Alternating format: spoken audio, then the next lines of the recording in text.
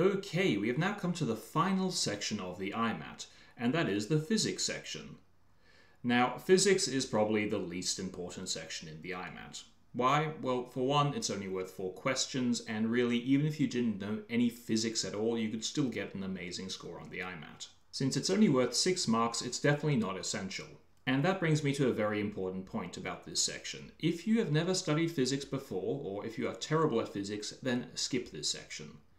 Now, it might seem like strange advice to tell you to skip a section, but remember, you only have 100 minutes to do the IMAT. And doing 60 questions in 100 minutes is pretty difficult for most of us. So you're likely not going to finish all the questions anyway, so missing out on four questions is pretty much going to happen either way. So you might as well save yourself some study time.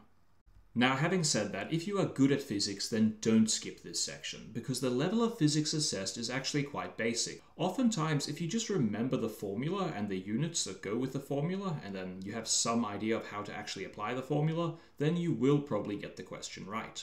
So really, your decision to do the physics section or not is a personal decision that you have to decide for yourself. But yeah, if you've never studied physics before, then I would definitely recommend skipping it, because even if it is a basic level of physics that they assess, Physics is a big subject. It will take you a long time to learn everything. There are a lot of formulas to remember, and yeah, it's just not worth doing all that, learning an entire subject just for four questions. Now, here we have the syllabus for the physics section, and as you can see, it is quite a lot of stuff. Again, as I said, it is quite basically assessed, but nevertheless, it is a lot to remember. There's a lot of theory to remember, and there are a lot of formulas to remember, and that can be hard to recall when you've only got 100 minutes to actually do a test not to mention having to remember all the other stuff for all the other sections.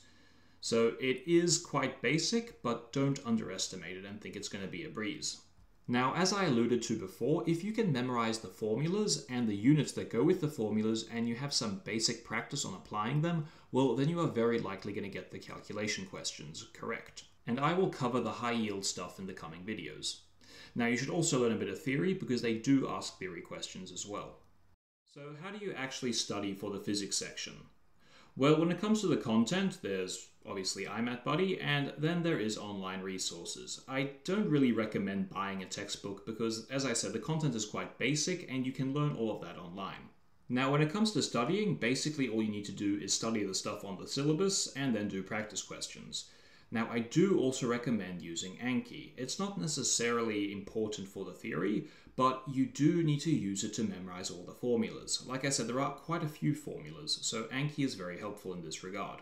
And of course, you want to know your enemy. You want to get good at doing IMAT style questions. And you can find IMAT style questions on IMAT Buddy, and of course by doing past IMAT papers.